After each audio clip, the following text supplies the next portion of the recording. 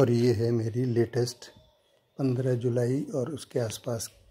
2020 15 जुलाई 2020 के आसपास बनाए गए रेखाचित्रों की झांकी